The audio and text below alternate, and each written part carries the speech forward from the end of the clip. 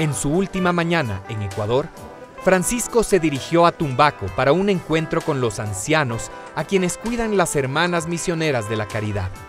Y antes de su partida hacia Bolivia, quiso pasar por el lugar de peregrinaje más importante en el norte del país. Una vez más, eran miles quienes lo esperaban, esta vez en el santuario de la Virgen del Quinche. Tres recuerditos, un dólar. Precio de fábrica, un dólar.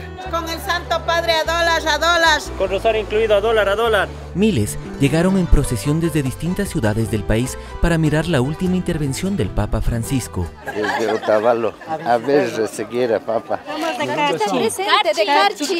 Muchas bendiciones para todos.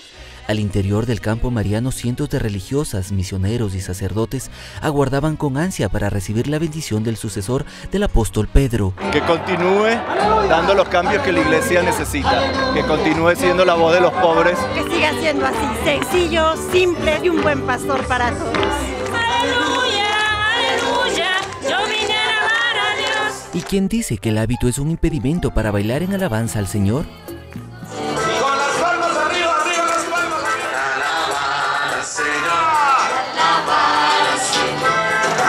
Y si las madrecitas saben moverse, los obispos se robaron el show de la mañana. Y la montaña se moverá, se moverá, se moverá. Arriba su poder y todo lo que hace, lo hace con amor. Se ve, se siente, Francisco está presente. El momento tan esperado había llegado. La mamita del quinche les había hecho el milagro. Cientos de años pasaron para que un sumo pontífice visite un santuario tan importante para la fe de los ecuatorianos. Tu presencia fortalece la esperanza de este pueblo que en la fe lucha y camina.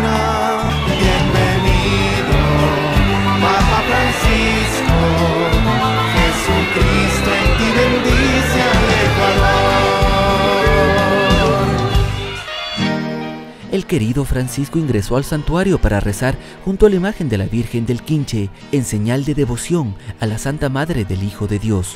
¿Cuántas veces siendo niño te besé? Virgen María, Madre del Quinche. Con mis besos te decía que te amaba.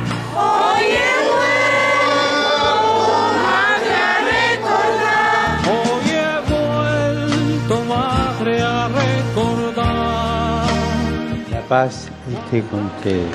Bienvenido, Santo Padre. En el altar ubicado a las afueras del santuario, el Papa reveló su asombro por la fe mostrada por los ecuatorianos. Yo también tuve la tentación de preguntar cuál es la receta de este pueblo. ¿Cuál es? no? Pienso que se los debo decir como un mensaje de Jesús.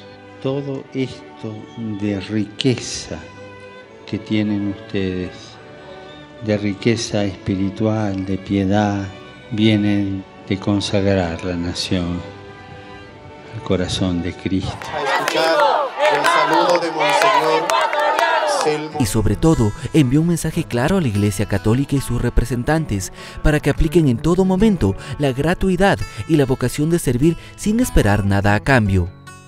Religiosas, religiosos, sacerdotes, seminaristas, todos los días vuelvan, hagan ese camino de retorno hacia la gratuidad con que Dios los eligió. Servir y no hacer otra cosa. Y servir cuando estamos cansados. Y servir cuando la gente nos harta. Les pido que recen por mí. Tras cuatro inolvidables y agotadores días, llegó la despedida. Francisco nos dijo hasta pronto. Le dijiste chao. y nos deja una tarea pendiente, menos palabras y más acciones. Que el Señor les conceda esta gracia a todos. Nos las conceda a todos. Pidan por mí. A la juventud el sendero para construir un Ecuador mejor. Mientras que en otros países su paso ha durado uno o dos días como mucho, Ecuador recibió el extraordinario regalo de acoger a Francisco por tres noches y cuatro días. Su carisma, el tiempo para cada uno a quien saludaba, sus mensajes llenos de amor, pero también de reflexión, y sobre todo su sencillez y alegría, permanecerán por muchos años en el corazón de quienes vivimos este evento irrepetible en la historia nacional. Líderes religiosos hay muchos, líderes políticos muchos más, pero muy pocos en la historia han sido capaces de lo que está logrando Francisco, trascender su cargo político y religioso para hablarle al oído y sobre todo al corazón, al hombre y a la mujer, sin importar su creencia, porque si bien la fe de Francisco es la cristiana, su mensaje es verdaderamente universal. ¡Que viva Papa Francisco! A mí no me importa que aguante sol con tal de ver a mi lindo Papa.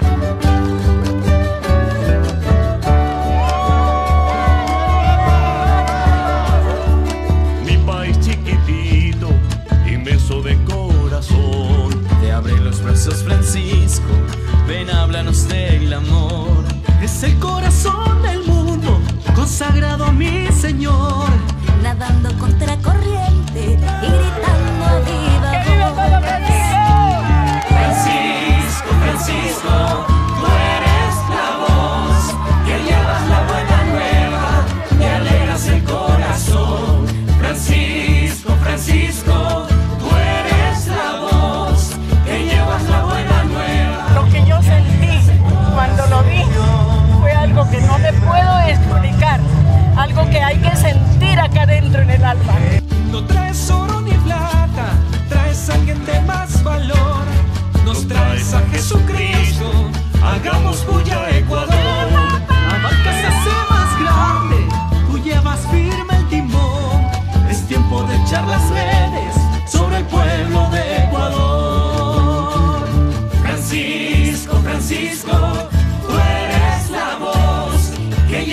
buena nueva y alegras el corazón. Francisco, Francisco, tú eres la voz que llevas la buena nueva y alegras el corazón. Eh, les doy la bendición, pero no, no les voy a cobrar nada. Pero les pido por favor que recen por mí. ¿Me lo prometen? Francisco, tú eres la voz que llevas la buena nueva y alegras el corazón.